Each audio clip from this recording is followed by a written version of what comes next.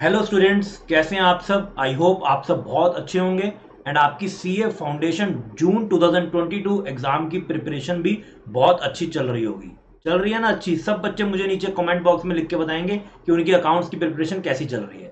तो आज की जो हम वीडियो आपके सामने लेके आए हैं that is on ABC analysis for CA foundation accounting CA foundation का पूरा अकाउंटिंग का कोर्स को हम लोगों ने डिवाइड किया है। तीन कैटेगरी में category A category B and category C जिसमें कैटेगरी ए में वो टॉपिक्स रहेंगे जो बेसिकली बहुत फ्रीक्वेंट पूछे जाते हैं और जो सबसे ज़्यादा मार्क्स कैरी करते हैं।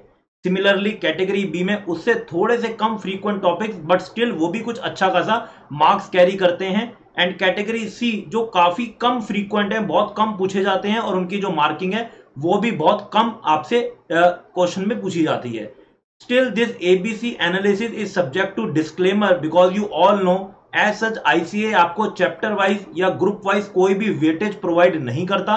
तो ये हम लोगों ने अपने पास्ट एक्सपीरियंस के बेस पे ड्राफ्ट किया है और सब टॉपिक्स को अलग अलग कैटेगरी वाइज डिवाइड किया है।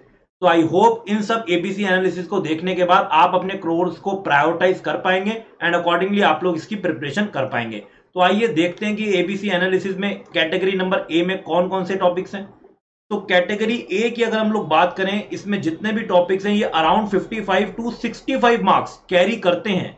जिसमें सबसे पहला टॉपिक है दैट इज़ फाइनल अकाउंट्स आप लोगों ने final accounts manufacturing non manufacturing entity बहुत अच्छे से पढ़ा है। तो बहुत इंपॉर्टेंट टॉपिक है आपके एग्ज़ाम के लिए और ये अकेला टॉपिक ही बहुत अच्छे खासे मार्क्स कैरी कर सकता है।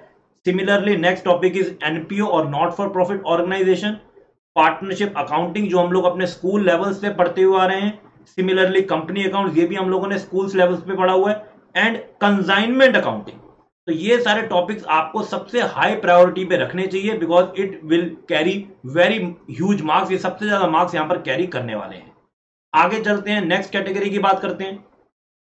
तो next category is category number B और ये category around 35 to 45 marks carry करेगी बट इस कैटेगरी के जो क्वेश्चन हैं, वो आप बहुत जल्दी एग्ज़ाम में सॉल्व कर सकते हैं बिकॉज़ या तो ये जर्नल एंट्री बेस्ड टॉपिक्स हैं, या फिर कुछ छोटी मोटी आपको यहाँ पर स्टेटमेंट्स बनानी होती हैं, जैसे कि bills of exchange rectification of errors bank reconciliation statement good sent on return और approval basis inventories and last average due date and account current तो बच्चे इन सब टॉपिक्स में बहुत अच्छे से फेवरेबल होते हैं, बहुत अच्छे से उनकी प्रैक्टिस होती है तो ये आपके कैटेगरी बी के टॉपिक हैं जो आपको बहुत अच्छे से प्रिपेयर करने हैं।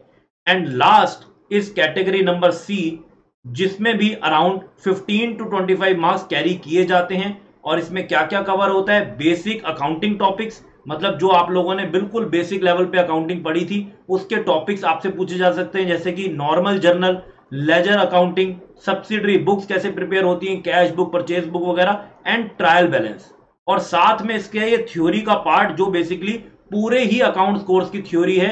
चाहे वो ट्रू फॉल्स मैनर में क्वेश्चन नंबर वन में पूछी जाए, चाहे वो कोई डिफरेंस कोई शॉर्ट नोट के वे में पूछी जाए, या फिर वो लास्ट क्वेश्चन में कुछ पार्ट में पूछी जाए तो इनकी जो टोटल कवरेज है basic accounting topics general ledger subsidiary books etcetera की, और थ्योरी की it will come around 15 to 25 marks तो इसके साथ आपके जितने भी टॉपिक्स हैं, चाहे वो आपके अकाउंटिंग टॉपिक्स हैं, चाहे वो आपके थ्योरी टॉपिक्स हैं सारे के सारे टॉपिक इन तीनों कैटेगरी में हम लोगों ने डिवाइड कर दिए हैं। तो अकॉर्डिंगली आप लोग इन सब कैटेगरी को देखते हुए अपनी प्रिपरेशन कैरी ऑन करते जाओ। आई होप आप सब बहुत ही अच्छे तरीके से प्रिपरेशन कर रहे होंगे।